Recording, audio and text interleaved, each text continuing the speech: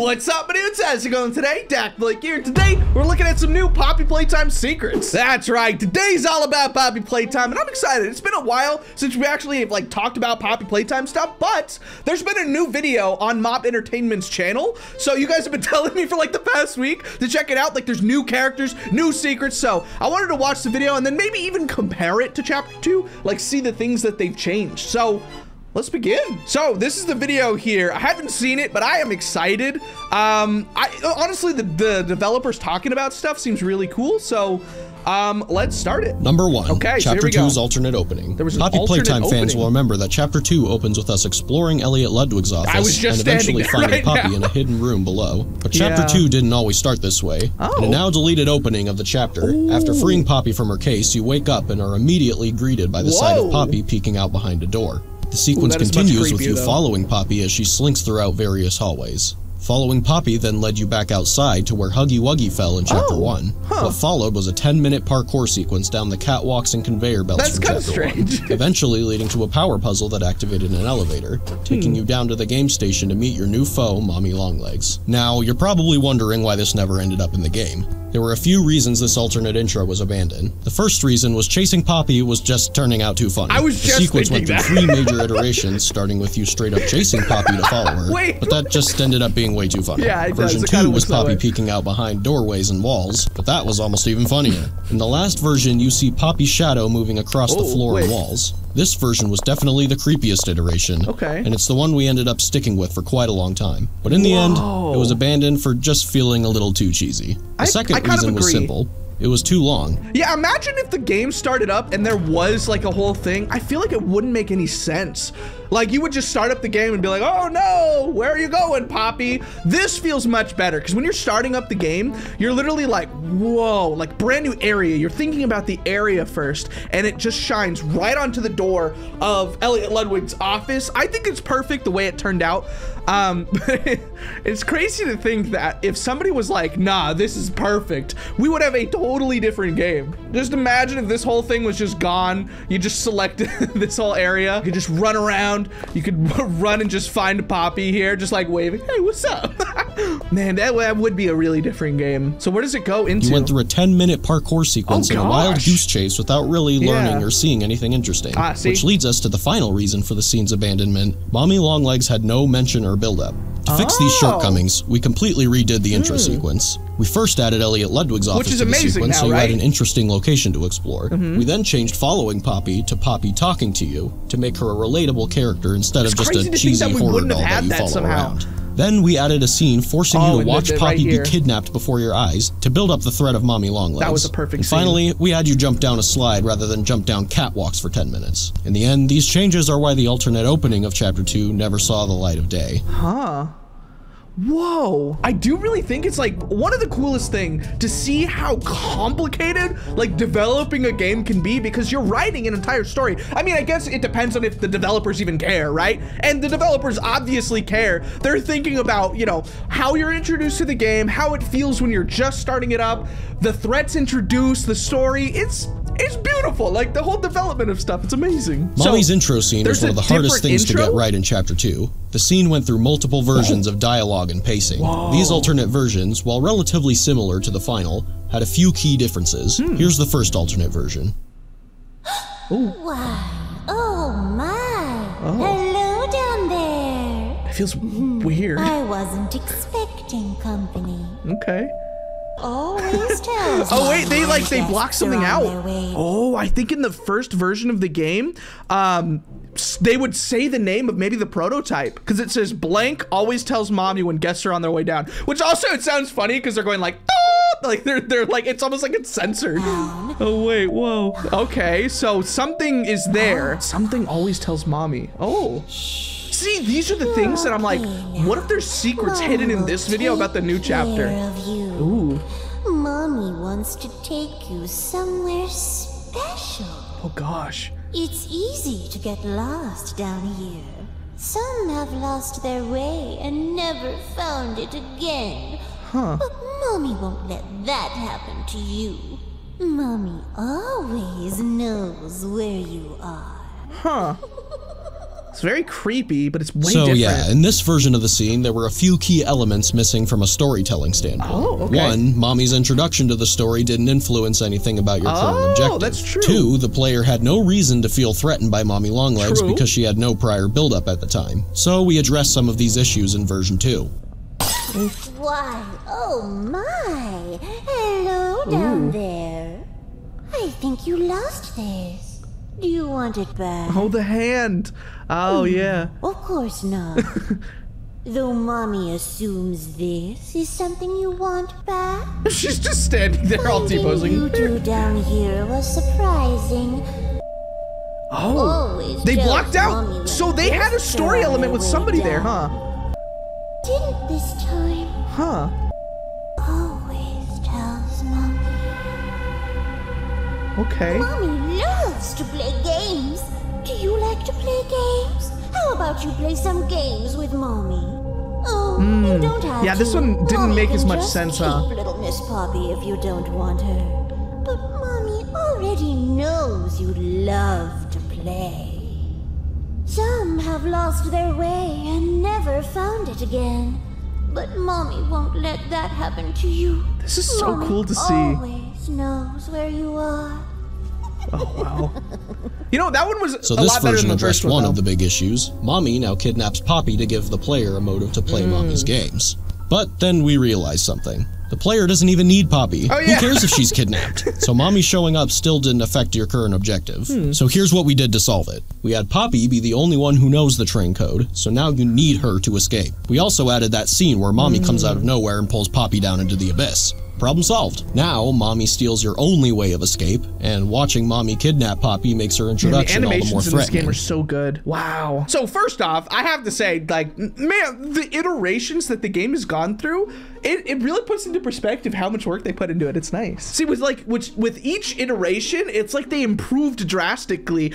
I, I still am like uh, my mind blown at like what the game would be like is if they just kept the first version of everything like you chased her for 10 minutes and then there she's like ah do you want to just play some games? You want to just play for no reason. And I didn't even think this going into this video, but I feel like we're we're getting secrets. We're getting little hints hidden in the background of this video. I'm sure they're gonna talk about like the characters, right? Because you oh, I can already see it. But we're gonna get to know some secrets, and maybe we can piece together some like ideas because it seems like from the thumbnail of this video, Daisy's gonna be really important in the next chapter.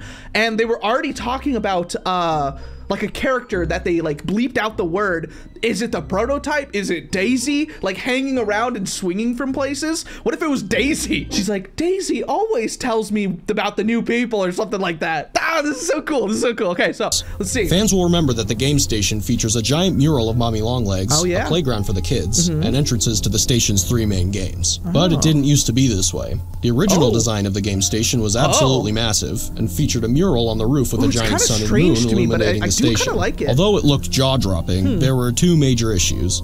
It was unrealistically big Hmm. and was completely empty. It didn't seem like it could have been a real functioning location It for also kids. kinda reminds the me of Sun and version Moon featured from, a new uh, design Five for the sun and moon and a lot more color in the room to Oh, make it more inviting nicer. for the kids way who visit. However, it was still completely empty. So we went back to the drawing board, keeping in mind what a place like the game station would need to be a fully functional and realistic location. In Hmm. the end, we shrunk the room, added a big playground for the kids to play Which in while they waited for their turn in the games, added structural supports for realism, Oh. catwalks for Playtime Co. employees to observe the things going on, and of course, added some classic Playtime Co. style branding.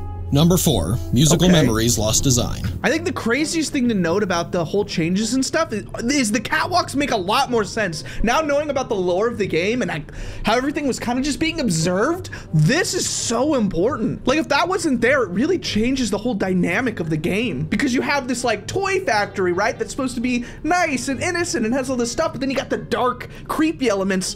And I feel like this one blends it perfectly to just have everything down here feel all nice, but then up here is like the crazy stuff. So with the mu- the musical, Musical memory, Memory used to have a much different aesthetic than it currently does. In the original version, the walls were completely covered in TV screens of various sizes that would display the name of the button that you're supposed to press. And the buttons you press during the game used to be suspended by big mechanical arms. Oh, wow, The reason this design so was abandoned was fairly straightforward. The aesthetic was too high-tech looking for Playtime Co. Yeah, the array of. TVs and mechanical arms made the room feel closer to a spaceship than a toy factory. Hmm. On top of that, we also decided that we wanted to include an area where Mommy Longlegs could watch you Hmm. play, and that just wasn't going to work in a curved room with a bunch of TVs.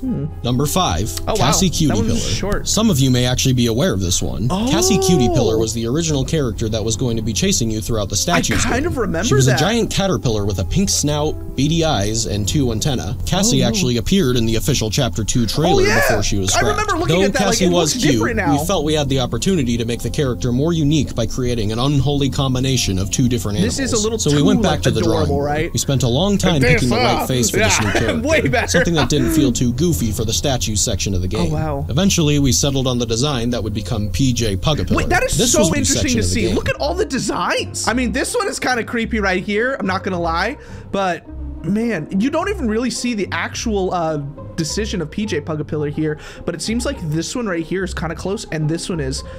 But whoa, it's crazy. But credit to the people who are in the art department there, just drawing like hundreds of different characters to get them all designed right. Build on the design so- that would become PJ Pugapillar. Yes. This was one of the later changes we made to Chapter 2, uh-huh. as we had already made a completely finished model of Cassie, complete with fur simulation Oh, gosh, look and at those realistic eyes. eyeballs, as well as various art of ah. Cassie throughout the game having to be swapped with the new PJ. art. Oh.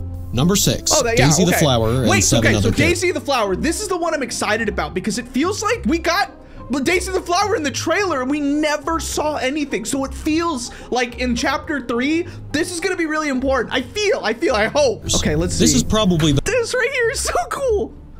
Look at these strings and everything, and like the eyes, they're so creepy. Um, I think we saw something before about how this was supposed to be Bunzo, right? I feel like Bunzo fits a little better in the uh, what is it, the memory game, right? Because of the the clapping cymbals. They'll probably say something like that, right? But I mean, look at this face. I I want Daisy to be in the new chapter so bad. Okay, let's see. the most well-known one on the list. Oh, yeah, Very see? similar to Cassie Cutie Pillar, Oh, look, Daisy right? was the original character that was going to be lowering towards you during the musical memory game. She was a flower marionette suspended on Oh. Strings with a very unsettling face. Yeah, look at like. Cassie, Daisy also appeared briefly in the trailer for Chapter 2. See, yeah, yeah, Daisy yeah. was abandoned because we wanted a character with more Oh. theming and a way to alert the player that death was getting closer and closer. Oh. And this is where things got difficult. We went through seven completely different character concepts Whoa. for the musical memory toy. A monkey, That must a be clown, so much a work to fox, design a each one princess, of those a bluebird, another bird, a ballerina, a ballerina bird,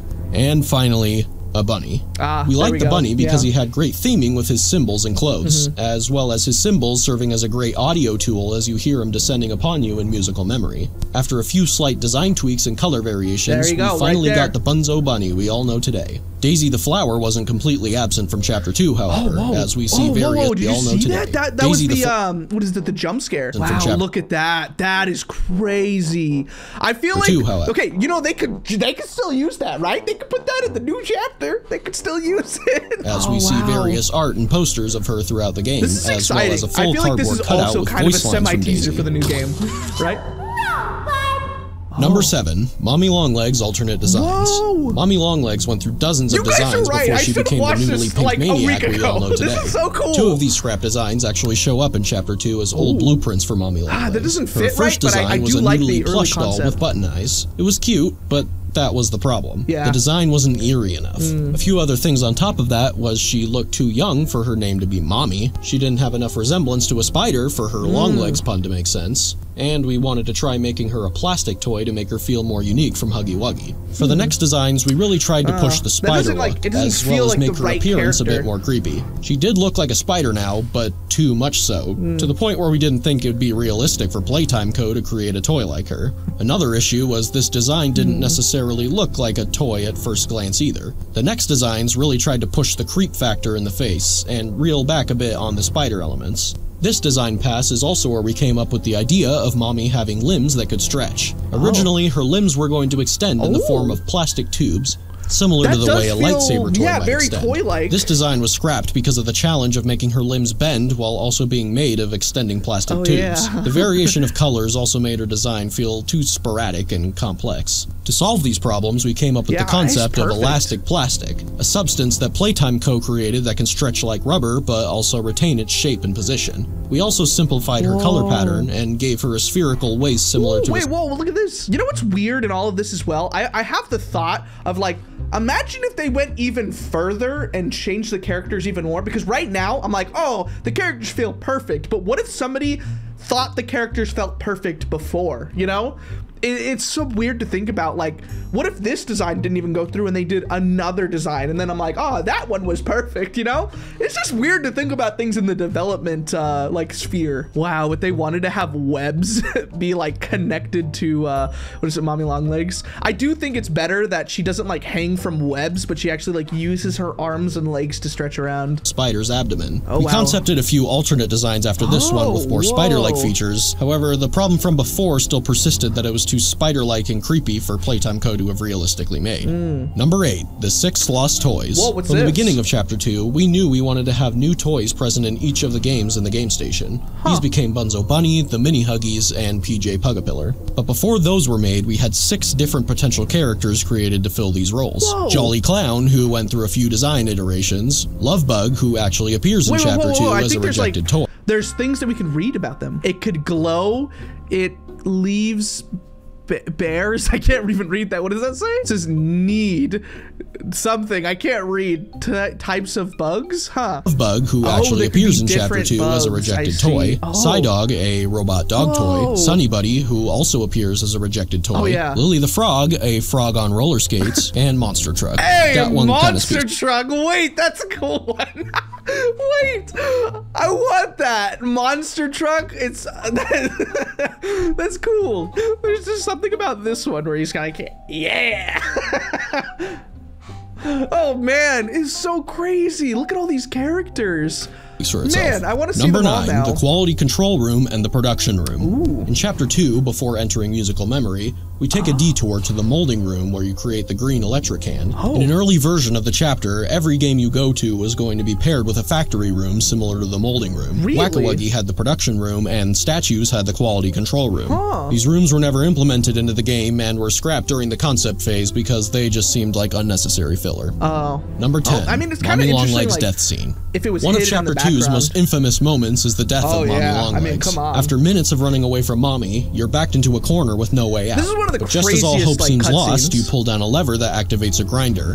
Mommy's arm is pulled into the grinder and she desperately tries to escape, screaming for her life as she's slowly crushed to death. Now, you wouldn't think it, but there was actually quite a bit of debate behind the scenes about how Mommy should be pulled into Oh, the yeah, grinder. Oh yeah, probably, In right? the alternate version of Mommy's death, her head is actually pulled inside and grinded to a pulp, Oh, leaving her lifeless lower half to fall onto the floor. Jeez, Here it that is. would be so crazy.